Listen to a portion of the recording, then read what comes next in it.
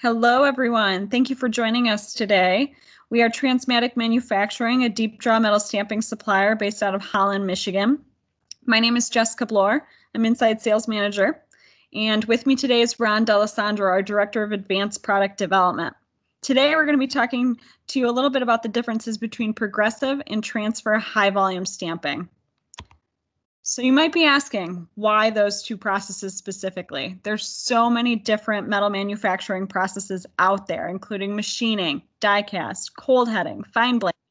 The list goes on and on. But the reason why we really want to focus on transfer stamping and progressive stamping today is because these are the two processes that are key for complex, drawn, high volume applications. A lot of these types of components can be found in the automotive market, but there are many other markets out there that require complex, tightly toleranced component parts. So what is deep draw? Deep draw typically means that the length of the part exceeds its diameter. Here's a photo of component parts that we manufacture here at Trans-Matic. Many of these parts meet this definition. You'll notice that they all don't, uh, some of these shorter component parts would be examples of components that would be good fits to run on a progressive die. And we'll talk a little bit about some of that reasoning as Ron goes into the advantages and disadvantages of transfer versus progressive stamping. So a little bit about Trans-Matic. Uh, we have three locations. Holland, Michigan is our headquarters. We also have facilities in Monterrey, Mexico and Suzhou, China. As I mentioned, we focus on deep draw stamping. The majority of our presses are transfer presses, but we do have the capability to do progressive stamping as well. We also have assembly and laser weld capabilities as well as non-destructive testing. And with that, I'll pass it off to Ron to get into the nitty gritty of why you're all here. Let's talk about progressive and transfer stamping. Thank you, Jessica. What we have here is a traditional straight side press on the left and an eyelet transfer press there on the right. They're not very much the same at all. I mean, you have up and down vertical motion. Maybe that's about all that's in common between these two presses. Uh, I can tell you that the press on the left is very simple in terms of its operation and function, whereas the press on the right, the transfer press, a lot more going on, a lot more complication. And when we start talking about tool design and development, you'll see that uh, one way that I like to describe the differences is complex tooling in prog, simple press, complex uh, press, and simplified tool. And we'll talk a little bit more about that and what that means as we go forward. Here's a cross section of a progressive die and also a strip. So you'll see the strip on the bottom of how that part is carried. You'll notice that there's a carry web. That carry web is basically holding the strip together, holding the parts together. It's kind of the automatic feed mechanism that transfers the part from station to station. In this particular case, we're traveling from uh, right to left. Each of those uh, stations is performing an operation, starting from a blank and cup and several, uh, you know, deep drawn uh, steps in the process. And at the end, uh, the part is clipped off. You can see that all of the tools are mounted into a die set. There's an awful lot going on, but it's all self-contained. It's all integrated. These types of dies are real easy to roll them right into the press and get set up using hy hydraulic clamping systems. And, you know, within 15 minutes or so, you can get up and running on a die like this. As you can see, it a lot more expensive too, because there's a lot of moving parts that are all self-contained. On a transfer press, it's the other way around. It's simple tooling, and the press again is more more compl complicated. But in this particular case, we're looking like at what we'd call an eyelet transfer ICOP press, which stands for individual cam driven press. And the tools are mounted into uh, punch holders. The punches are mounted into punch holders, and the dies are are mounted into a a, a uh, their inserts loaded into a die holder on the bottom side. You, in, a, in a typical ICOP, which is a cam-driven press, there's a top shaft. The top shaft drives a cam. The cam drives the plunger. The plunger has the punch, and the punch drives into the tool, into the die. Uh, you know, it might sound simple. There's a lot going on there, And uh, as you would imagine, that that press is pretty complicated, but the tools are relatively simple. Now, simple is a relative word because we add a lot of complication to some of our tools by doing a lot of side motion uh, turnovers and things of that nature. Uh, but the tools are are are they're all open. You know, it's all individual. They're all in, loaded into the press individually. You can see on the bottom there's a slide. That transfer slide is actuated typically by a, a shaft, a bevel gear that drives the slide back and forth, and that's what transfers the part from station to station using what's called transfer fingers.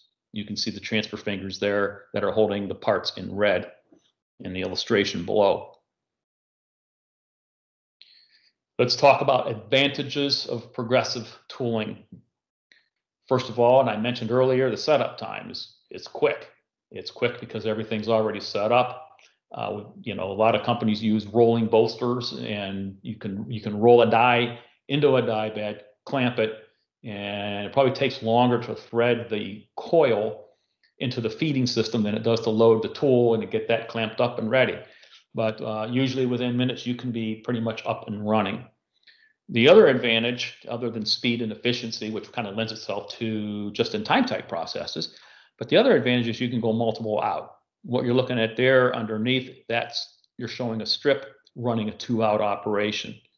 That that's efficiency. You can run five out. You can run more out. You know, depending on the product design and depending on you know the depth of draw and things of that nature. A lot of other things come into play, but it is possible to run more than one out at a time.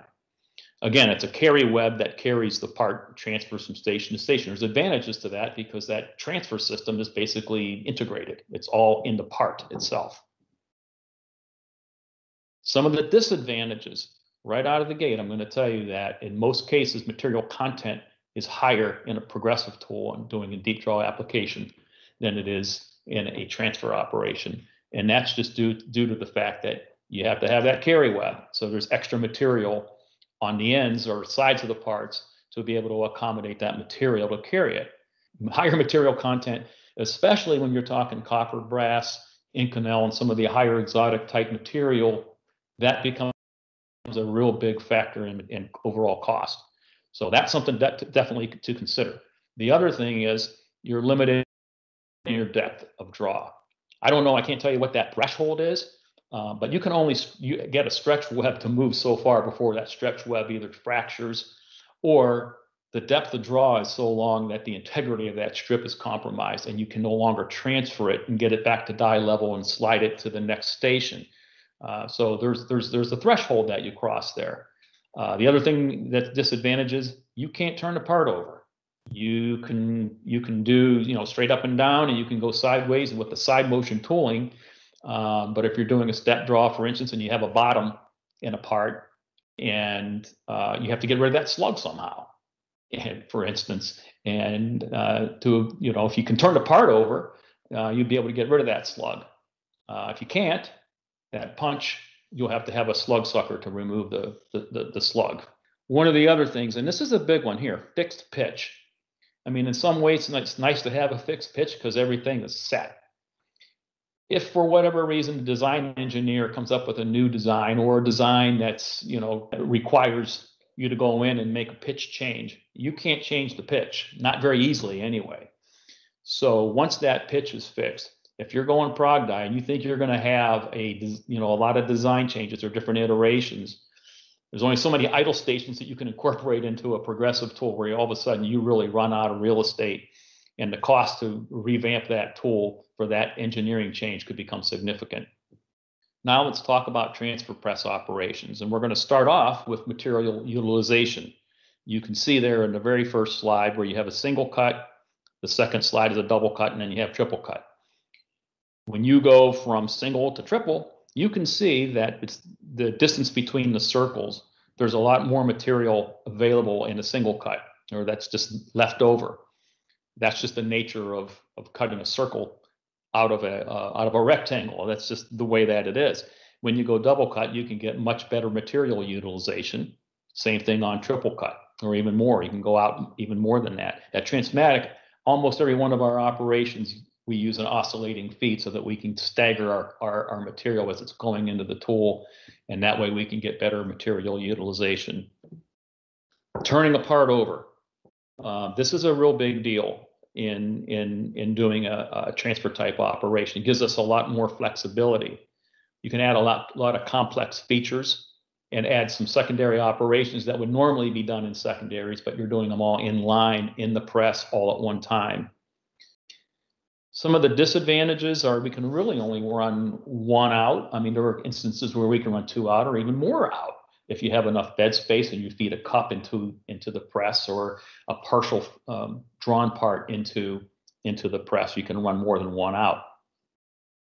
But that re that requires you know bowls and track systems and conveyor systems that you have to integrate in along with the with with the uh, press and the tool.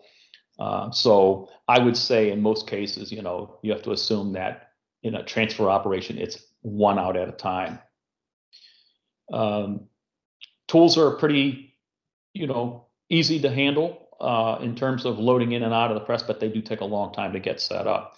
Transfer fingers sometimes can cause some misfeeds. You know, you don't have a connected strip, so you're relying on those transfer fingers to handle that part from station to station without turning and every now and then you can get a, a, a misfeed, which could cause some downtime.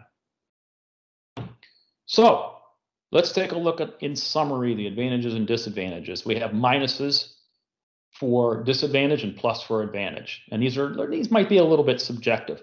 And again, I mean, we do both of these at Trans-Matic, um, and we will, even though we seem to lean more toward the transfer press type operations, it seems like the kind of parts that we do lend themselves to that that process. But again, we'll depending on your, the product need, we're going to find and we're going to select the right process for the part. So with that, I would like to thank you, and um, if there are any questions, I'd be happy to take any questions. Thank you, Ron. So yeah, we do have a couple of questions. And the first one I want to ask you is what do you see being the primary cost difference in piece cost between progressive and transfer stamping? Yeah, that's a great question. I have a, a fairly simple answer. I can break it down into three categories. Volume, the annual quantity that's required on a particular part, the material that's used, and how fast and efficient the process is running. So we talk about volume, if you have a part that's say 100,000 pieces a year, you may not want to invest in a progressive die because it becomes kind of cost prohibitive. Whereas in a transfer operation, you can build a tool fairly economically to run 100,000 pieces because that, that becomes a, a factor. When it comes to material, you have to be real conscious of the type of material and how much that that carrier web is acting on the piece cost. And again, we talked about speed. You have efficiency and speed by running multiple out, as we talked about multiple times, but um, you don't want to run four out and then have to worry about okay, how am I monitoring each of these parts? you have to think about traceability. That becomes also a, a concern. So when you add it all together, I mean, by the, taking just those three factors, you can easily come up with the right process. So it kind of depends. It does. That makes sense. So how many parts can be run before a die has to be rebuilt? And does that vary between transfer and progressive stamping? Yes. Um, I would say that, you know, at least in our case, the way at Trans-Matic, we have a perpetual ongoing die maintenance program. After a run, all those tools are all, they're always inspected.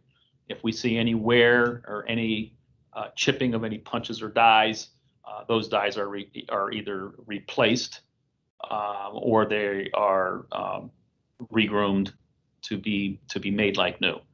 So it's perpetual and and it's the life of the part. So you pay one time for a tool and you never have to worry about it again. Whereas in a progressive tool, because of the way that the nature of, of the process, you have um, you have die land on all the cutting surfaces. After you get through your die land, you're into the clearance section of the tool. You can only grind those surfaces so many times before you're into the land after shimming them uh, you know, X amount of times. And then you pretty much have to replace all the steels. Uh, even though the form stations may be intact, all those cutting edges are going to be are going to be so worn out that you're going to have to have them replaced, and you almost have to replace the whole die. So it becomes a, there's a useful life in my mind uh, for a progressive tool, and not so much in at least the way that we track our our transfer operations. Hopefully that answers that question. Yeah, thank you, Ron. So you mentioned that Trans-Matic really focuses on transfer press stamping. So can you tell me a little bit about what presses are available? There's a multitude of presses available at Trans-Matic, different shapes and sizes, smaller frames that only run five stations, others can run 30 stations. So having that type of flexibility gives us so much, so many options in the marketplace for certain applications and complexity, depending on the part and the complexity and, and the volume. Uh, there used to be a time I thought that Waterbury Farrel presses were obsolete. Well, yeah, you can say that, um, but having them available for certain applications because they're infinitely adjustable for running lower volume applications, they're perfect. Okay. Uh, they, they can't hold the tight tolerances, but for that we have Bairds, we have servo presses, we have other types of uh, operations that are more state of the art. And, and as we go forward um, in our business, you can see the investments that we're making are now more in the state of the art, high tech, high tight, tightly tolerance type operations. So it's good to have all that kind of flexibility in the organization. The other thing I'll say is we have duplications of presses. So we don't have just one press to run one part. So if something happens to that press, we have other presses that can fill that gap. Risk mitigation. Exactly. It's very important in today's world. Yep, you got it. Awesome. Well, thank you, Ron. And with that, I just want to say thank you to everyone who listened in today. Please don't hesitate to reach out to Ron or myself if you have any additional questions on what we presented or anything about Trans-Matic in general. Uh, we'd love to talk to you about your next project. Thank you.